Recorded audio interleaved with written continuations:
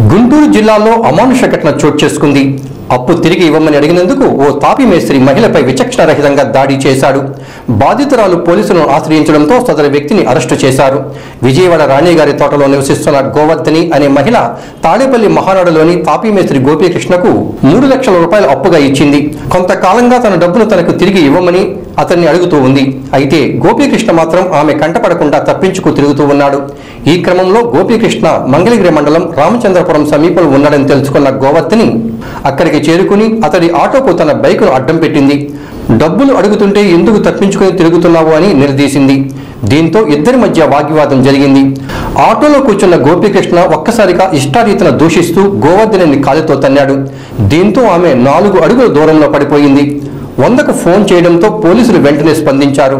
ఆమెను మంగళగిరి ప్రభుత్వ ఆసుపత్రికి తరలించి చికిత్స చేయించారు. గోవర్ధని ఇచ్చిన ఫిర్యాదుతో గోపీకృష్ణను అరెస్టు చేశారు. లైట్ గుండి వచ్చాం లైట్గా ఉండొచ్చు ముఠాలను బాగొట్టుకోలేదు నువ్వు. నువ్వు కిరాయిలు వచ్చింది.